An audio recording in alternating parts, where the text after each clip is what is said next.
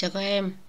Đây là cái bài mà cô hướng dẫn cho các em cái cách là nhập vào một dãy số thực và một số thực x, Kiểm tra xem x có thuộc ừ, nó không. Nếu thuộc thì em phải in ra cái à, phần tử trong dãy. Vâng. Như vậy là đầu tiên là các em phải à,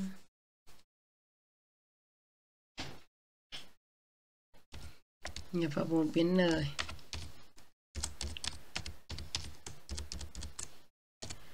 sau đó khai báo một cái mạng à, khai báo một cái mạng A.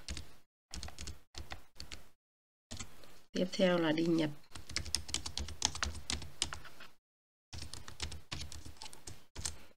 lặp lại n lần. Hành động sau.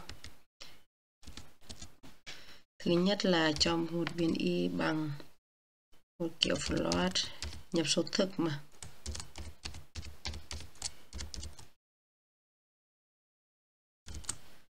Sau đó là em sẽ a chấm append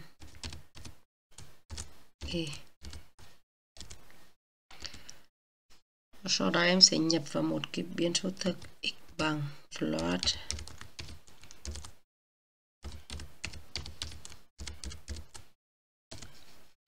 Sau đó là cho một vòng for for theo chỉ số của nó thì chỉ chạy từ 0 cho đến ờ, n trừ 1 thôi. Cho nên viết thế này. Nếu như a a của y mà bằng x thì các em sẽ print ra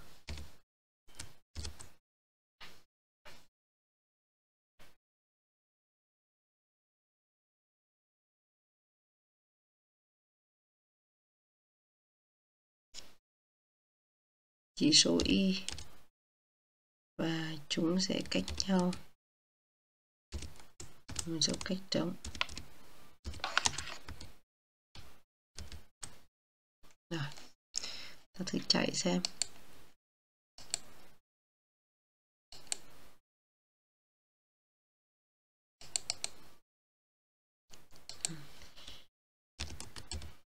Mạng một chiều chúng ta vào là ừ, tìm vị trí của x chấm python.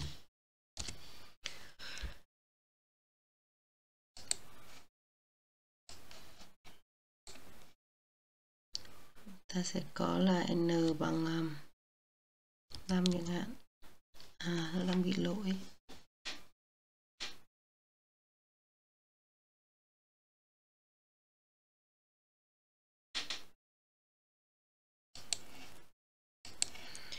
Chỗ này là cô thừa một cái dấu ngoặc này.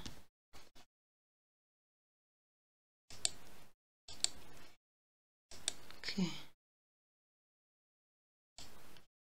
Rồi, ví dụ ta nhập n bằng 5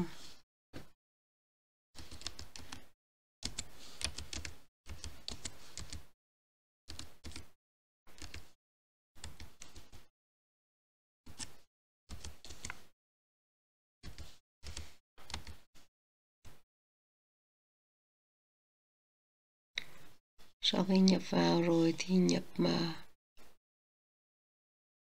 ví dụ như thế là 8.9 chẳng hạn thì nó sẽ in ra vị trí là 1 bởi vì 8.9 theo trong dãy này là giá, giá trị là 1 này.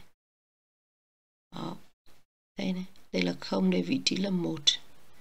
Vậy còn nếu như mình nhập vào một cái n mà nó không có trong cái x không có trong dãy thì mình sẽ, sẽ xử lý thế nào như vậy ở cái chỗ này á, mình sẽ có làm hai cái việc. Trước đây là ta sẽ cho một cái biến d bằng không. Sau đó thì ta sẽ là d bằng d cộng 1 rồi. Sau khi hết rồi nếu d mà bằng không thì ta sẽ print ra. Đâu chẳng hạn, không không tìm thấy. Đó, bây giờ ta thử chạy xem nhé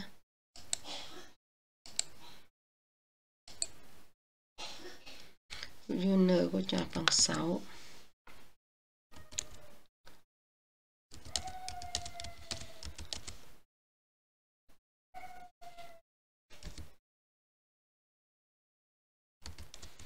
Rồi, bây giờ cô nhập bằng trừ 8 xem.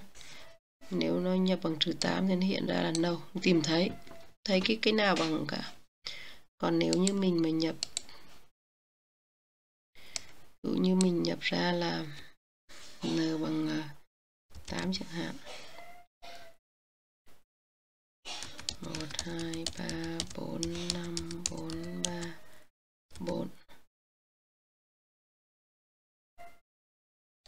Đó, bây giờ ta cũng nhập x bằng 4 thì nó sẽ tìm ra được ba vị trí các em này.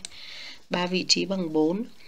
0 1 2 3, vị trí thứ ba, vị trí thứ năm và vị trí thứ bảy là có giá trị x bằng 4.